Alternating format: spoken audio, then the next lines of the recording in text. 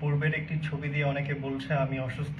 তবে আমি অসুস্থ নয় আমি ভালো আছি। আমি আশা করব আপনাদের দোয়ায় আমি সুস্থ থাকব, ভালো থাকব, নিরাপদে থাকব। তরুণ প্রজন্মের রাজনীতিবিদ, মানবতার ফেরিওয়ালা খ্যাত সকলের প্রিয় ফারাজ করিম চৌধুরী বেঁচে আছেন। তিনি মারা যাননি, যা তিনি নিজেই নিশ্চিত করেছেন। ভাবতে পারেন, কোন দেশে আমাদের বসবাস, যেখানে নিজেকেই নিজের বেঁচে থাকা নিশ্চিত করতে হয়।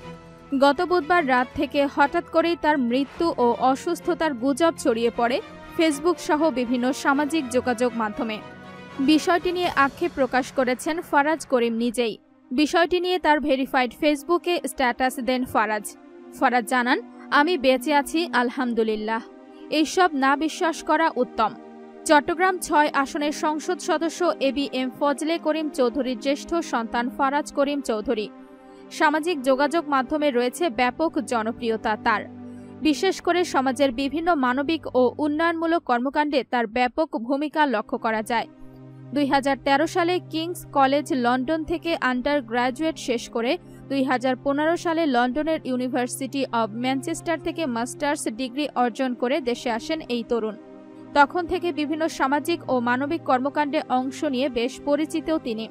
দেশের বহুজাতিক শিল্প প্রতিষ্ঠানগুলোর উচ্চ পর্যায়ের চাকরির সুযোগ থাকলেও সে পথে পা বাড়াননি ফারাজ। বর্তমানে ক্লিন ইমেজের তরুণ রাজনীতিবিদ হিসেবে তুমুল জনপ্রিয়তা পেলেও নিজেকে একজন সাধারণ মানুষ হিসেবেই পরিচয় দিতে স্বাচ্ছন্দ্য বোধ করেন তিনি। এই মানুষটিকে নিয়েও মানুষ গুজব ছড়াচ্ছে।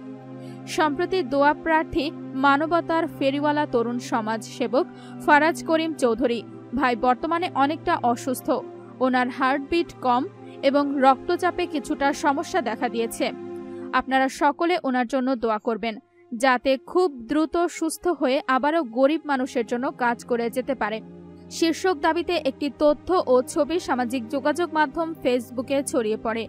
পোস্টটি অতি দ্রুত ভাইরাল হয়ে যায় সামাজিক যোগাযোগ মাধ্যমগুলোতে।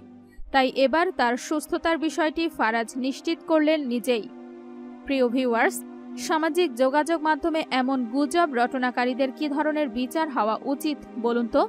এদের গ্রেফতার করা উচিত মনে করলে কমেন্টে হ্যাঁ লিখুন। না হলে না লিখে জানিয়ে দিন আপনার ভাবনা। ফারাজ করিমকে ভালো লাগলে ভিডিওটি লাইক, শেয়ার করুন ও আমাদের চ্যানেলটি সাবস্ক্রাইব করে রাখুন। ধন্যবাদ।